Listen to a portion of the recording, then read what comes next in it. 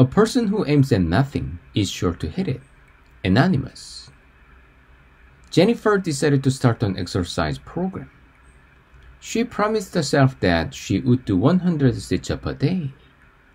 She quit after only two days. We all need goals. They give meaning to our lives. But when we set unrealistic goals, we set ourselves up to fail.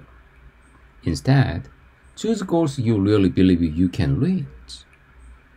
Break them into smaller steps and forgive yourself if you stumble over a step or two. Today, I live in my personal goals. Are they realistic?